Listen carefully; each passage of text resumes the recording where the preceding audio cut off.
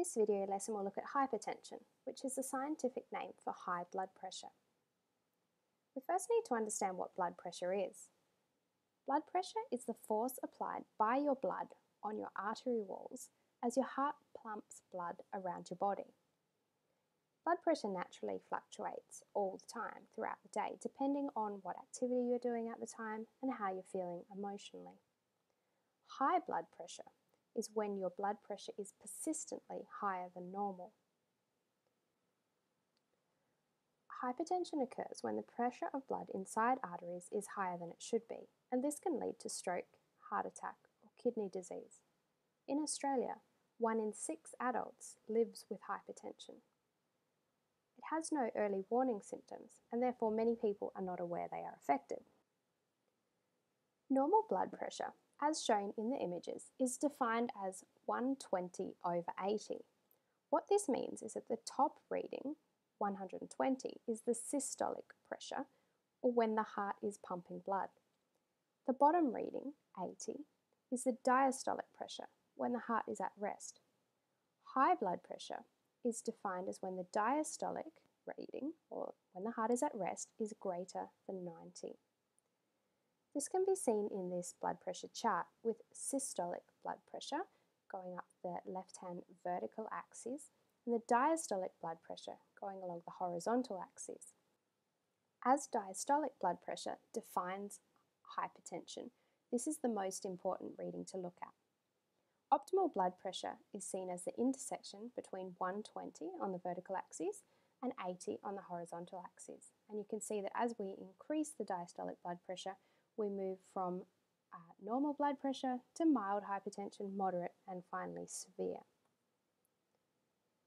Let's look now at the risk factors. First of all, we'll look at those that you can't change.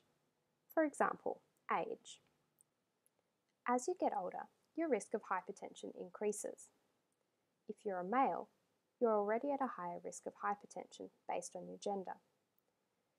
Ethnic background can have some effect as people of some origins, such as people from the Indian subcontinent, have a higher risk. And in Australia, Aboriginal and Torres Strait Islander people have an increased risk which is related to lifestyle factors. Family history also plays a part, and if a member of your family has had heart disease, you may be at a greater risk of hypertension. There are, of course, many risk factors that you do have control over. Regarding hypertension, salt intake is very important as high sodium levels can increase blood pressure. Obesity puts extra pressure on the heart and arteries due to excess body fat, as well as the increased blood volume that has to be pumped around the body. Smoking raises blood pressure and also hardens artery walls and uh, leads to inflammation. A diet high in saturated fat can also increase blood pressure by narrowing artery walls. This occurs as cholesterol is deposited in the walls of the arteries. Additionally, an alcohol consumption of more than three glasses per day can increase blood pressure.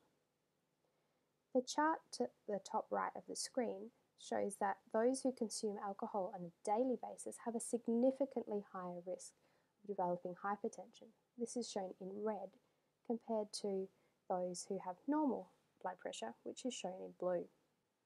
It's also shown that those who never drink alcohol, in the very left-hand category, have a much better chance of having normal blood pressure, as do those who only drink sporadically or on rare occasions. Physical inactivity is another risk factor that you have control over.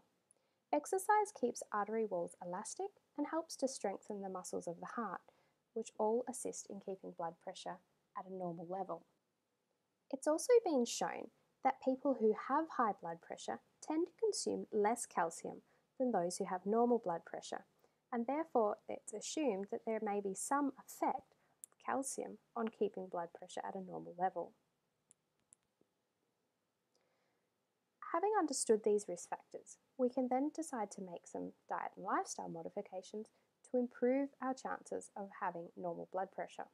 This includes limiting salt intake to less than the uh, upper limit of 2,300 milligrams sodium per day, limiting fat to less than 30% of total daily kilojoule intake, and in particular saturated fat to less than 6% of total daily energy intake. This is less than the usual recommendation of less than 10%. Cholesterol intake should be limited to less than 150 milligrams per day, protein to less than 18% of total daily energy intake, and alcohol to less than two standard drinks per day, which is the usual recommendation. In particular, as shown in the image here, there are some foods which should always be avoided for people at risk of high blood pressure. These include pickled foods, they're high in, in salt, many types of processed and fried foods as well because of their combination of salt and saturated and trans fats. A study conducted a few years ago was called the Dietary Approaches to Stop Hypertension, or DASH diet study. The study promotes a diet rich in fruits, vegetables, low fat dairy products, whole grain foods, fish, lean poultry, beans, seeds, and nuts, and low in sweets, added sugars, sugar containing beverages, fats, red meats, and salt. People following this diet were shown to be able to reduce their systolic and diastolic blood pressure by 5.5 and 3.0 respectively, compared to those who participated in the control side of the study. There is no requirement that you memorize the DASH diet, and you can see that there's significant overlap between the DASH diet and the Australian Guide to Healthy Eating in terms of the recommendation to maintain a diet high in fruits, vegetables, whole grain foods, etc. Finally, those at risk of hypertension can choose to make some lifestyle modifications to reduce the severity or risk of the disease. In general, should aim to reduce weight, limit alcohol consumption, stop smoking if you're a smoker, reduce stress, and exercise more frequently. All of these will help to reduce the risk of hypertension as well as many other lifestyle diseases.